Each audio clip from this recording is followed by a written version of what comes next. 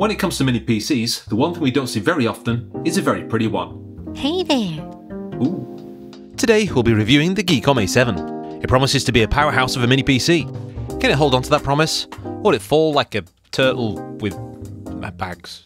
Welcome to Team Pandory. Subscribble. Here's what we got from Geekom, and let's open this thing up. Magic hands! So you got sent this from Geekom for purpose of video review. It's not a sponsored video, and no cash has been exchanged. They've not told us what to say, and all thoughts are our own. So here's the box, I guess. Looks pretty cute. Nothing much on the sides. Let's check the back of the box. 7940HS. They sent us 2 terabytes. Nice. Ooh. In the box we get a mini PC. This one's very Apple-esque. We get a, a card Let's just check if there's any uh, money or Steam coupons. No. And under here, we have a HDMI cable, roughly around 1 meter in length. And in this bag, we have a power adapter. This one's small and feels extremely modern compared to the other ones we've had on the channel. This one outputs at 19 volts, 6.32 amps, up to 120 watts. We'll use that with this cable. And here's the instructions. it's like a map. Gotta hand it to them though, this is pretty efficient. We have a Ryzen 7940HS, which is an 8-core processor that boosts up to 5.2 GHz. And with the 780M GPU, we should be able to play some recent games. We have a nice amount of storage, but it's a shame to see HDMI 2.0 instead of anything with a higher bandwidth. This might take a while. I have enough stamina to go all night. And yeah, this looks great. Very tidy. A quick look around. On the front we have the power switch. Seems to be for people with small fingers. This button is tiny. Moving on, we have a 3.5mm headphone jack, two USB 3.2 ports, and this one has power delivery. Shifting to the side, we've got holes. Looks a bit like a cheese grater, but this will be for air intake. And on the back is where we have all the action. At the top we have the air exhaust vent, DC in for power, USB 4 Type-C, HDMI, 2.5 gig Ethernet LAN, and two more USB ports. The one on the bottom is USB 2, which can be handy for legacy devices and operating systems. We have another USB-C, and at the bottom another HDMI port. We love how they've added these little labels here, so we know what each port does without even guessing. Moving around we have an SD card slot, and even though it's considered as legacy media, it's still used today by professional cameramen. There's nothing much on the bottom, only labels and four rubber feet. They're not very tall, so all they do is keep it stable on the table. And these two little holes here are probably for a vase mount, which didn't come in the box. It's about time for the size comparison. The Geekom A7 is slightly smaller than the less powerful A5. And it's also smaller than the GMKtec K8. It's larger than the Chuwi LarkBox Pro, but it's minuscule when compared to the Ace Magic 8008. There's a 3.5 inch floppy disk, and a Game Boy running a. Uh, Dr. Mario. Is a banana. And as always, a Rooibos tea bag. And as we like to be thorough, here's a measuring tape. It's like 11 by 11, and uh, this mini PC fits in my pocket. When we first boot it up, we're thrown into the Windows setup screen. And here we choose a language, region, and keyboard settings. Similar to the Geekom A5, it can't finish the setup without going online, and forcing us to connect without scanning the computer for nasties is very dangerous. while we could go the Linux route, there is a workaround to this problem. Push Shift and F10, then type in OOBE backslash bypass NRO. Once you hit the enter key, the computer will restart, then you can click I don't have internet, then continue with limited setup.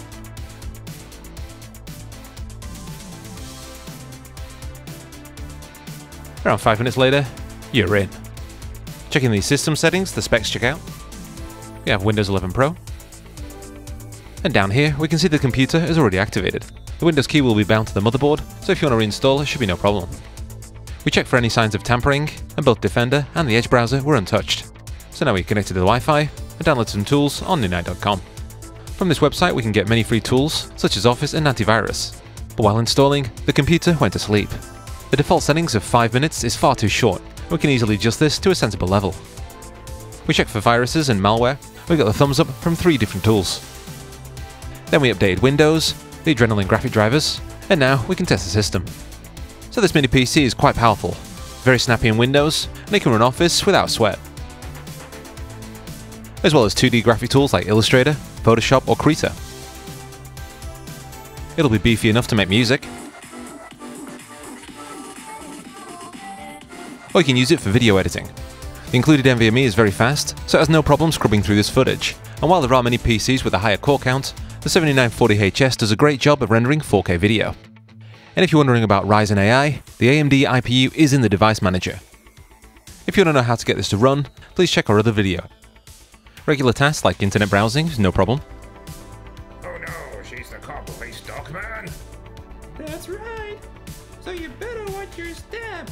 We've even found this computer, and it's got full 5 out of 5 on Amazon. We can watch Amazon Prime with the HD button lit. Netflix. Here the stats. And 4K YouTube. It's using the VP09 codec, and it runs really well.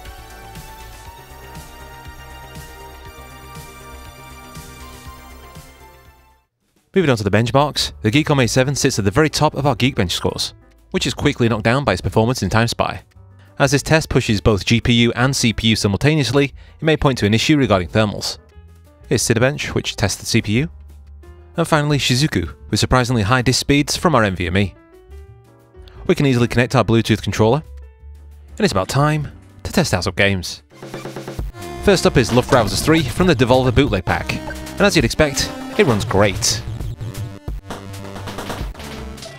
Terraria.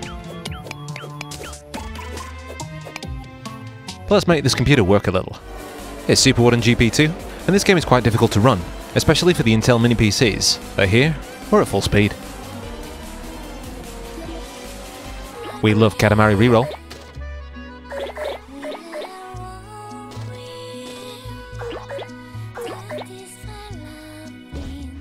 Dota 2.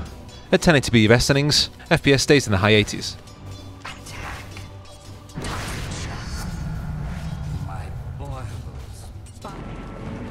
Fortnite. We're using 1080p epic settings on the performance renderer, and this game is running really well.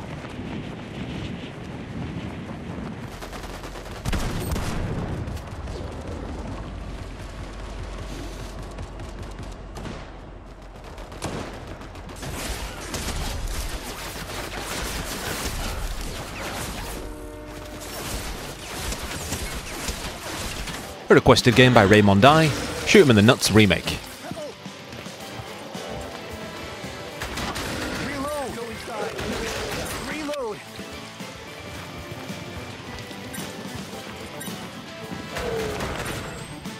And one from Arcade Racer, Street Fighter 6 demo. 1080p, medium settings, around 40 FPS.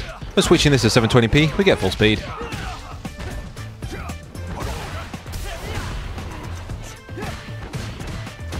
Next up is a favourite of the channel, Rocket League. At 1080p high quality settings, we're getting a very good frame rate. But after a short while, it really does start to slow down. We get jerky gameplay as well as slower FPS. It looks like thermal throttling is in play, as our GPU and CPU temps are getting quite high, and this also applies to our memory. The same thing also happened in Yakuza 6. The game looks very playable, then all of a sudden, we get hit. Usually, we'll be able to change TDP settings in BIOS, but here it's not explained very well. These essentially change the power limits to 40, 45 and 54 watts. We don't exactly know what it does to the fan settings. If we test out each in a benchmark, the lowest setting we have actually performed the best, so we definitely have a problem with the temperatures. But after retesting Yakuza 6 in quiet mode, it still did not fix our issue. So what we need to do is cool it some more, and we can use a software solution called Universal x86 Tuning Utility. Using this free tool we should be able to get more control over our CPU, so let's give it a shot. We've got some custom presets, let's try Eco. So while we only have 14 FPS, our system stays very cool, we're only using a fraction of power, and we have a stable frame rate. We tried the other pre-made settings, but none of them helped our cause. What we can do is make our own. Go to custom presets, and we'll change all these power limits to 35 watts. And then after saving and applying the preset, we can play a game with our temps in check. Sure, we will have lower frames, but a far better gaming experience.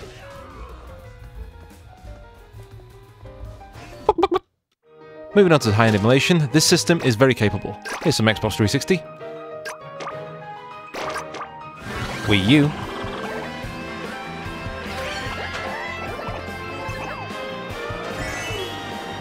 and PlayStation 3. This system is a bit of an emulation monster. Let's continue in Batocera. We'll first have a look at the BIOS, and to be honest, it's very disappointing. While it does have fan modes, Wake on LAN, and secure boot, there's nothing really here. We would really like to have more options such as toggling the IPU, separated fan settings, or changing the size of the GPU memory. With secure boot off, we can load up Batocera. And while our Wi-Fi seems to be working, it feels a bit flaky. We couldn't connect with our Bluetooth, so if you want to use a wireless controller, you need to use a dongle. But outside that, many of our emulated machines work great. Atari ST, Commodore Amiga,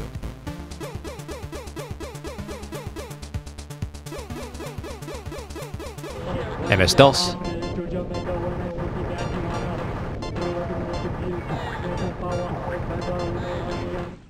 Xbox,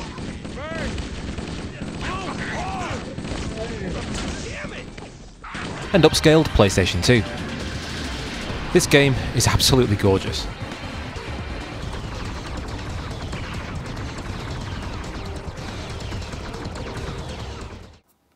It's about time for a teardown. Can't really see any screws. Let's have a look under these feet. Using a small minus driver we can pull these up. Now we can see the four screws holding on the bottom plate. Use a small posi driver to take these out. And the bottom comes off very easily. This might be why we were having problems earlier with Wi-Fi, as the antenna is stuck to the bottom of the case. To get further inside, there are four more screws to remove. And we're in. So the parts they've used here are quite decent. We've got two sticks of Crucial DDR5 and an Acer NVMe. It's nice to see we've got a graphite heatsink on this. But it's unfortunate we don't have a second slot. Here's a Wi-Fi chip. Let's see what happens when we take these four out.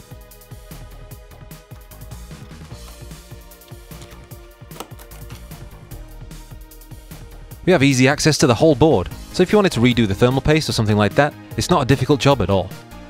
Or you could even make your own case.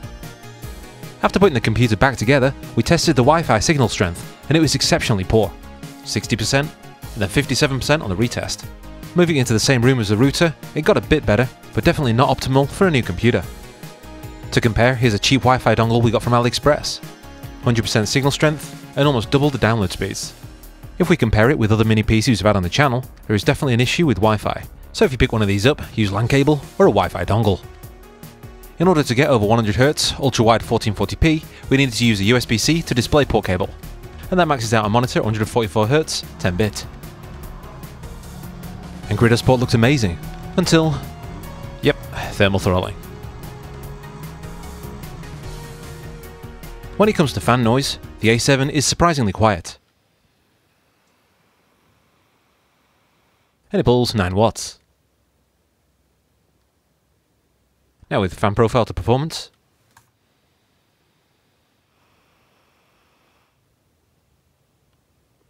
And even under load, it's still rather quiet.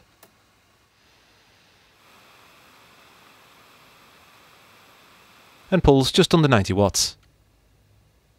It's about time for the pros and the cons. The Geekom A7 has a powerful processor, and the components inside this sleek case design make Windows extremely responsive and snappy. It's a quiet PC and will be ideal for productive work or for emulation. Unfortunately, the Wi-Fi is extremely poor, and with throttling due to high temperatures, we cannot recommend this for gaming. We would have liked to see more options in the BIOS. Maybe we could turn off IPU and adjust fan settings, we'd be able to see a PC that could game. But them cons really are heavy. If you're looking for alternatives, you could try the 7840HS version of this. The slightly lower clocks will make it cooler. The Geekom A5 is a bit slower, but cute, cheap, and can still play some games. But if you still want to have great CPU power, at the same time keep things cool, the GMKtec K6 may be an option worth thinking about. While this mini PC didn't quite knock it out of the park, we're sure that next time Geekom are going to find a winner. And now for the summary. Once upon a time, I found a little machine. She called me seven minute PC. Attack enthusiast dream. Oh yeah, looks so cute. Super quiet, fits in your pocket too. With a Ryzen 7940HS chip. What's not to love? It's true. But as the days went by, the heat started to rise.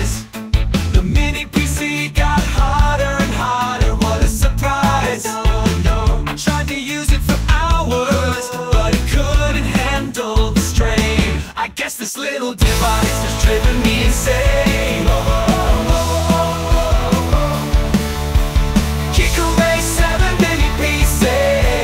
You had me at hello with me. It's not the perfect match. I thought you were the one, but you're just a little catch. Ooh, yeah. It's time to let you go. Bad Wi-Fi and overheated.